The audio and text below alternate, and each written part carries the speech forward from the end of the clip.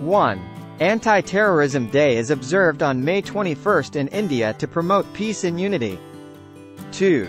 It commemorates the death anniversary of former Prime Minister Rajiv Gandhi, who was assassinated in 1991 by terrorists.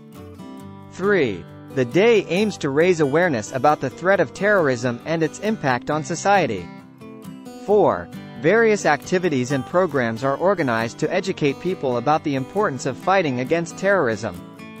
5. Schools, colleges, and government institutions often hold seminars and discussions on counterterrorism measures. 6. Anti-Terrorism Day promotes the message of non-violence and tolerance. 7.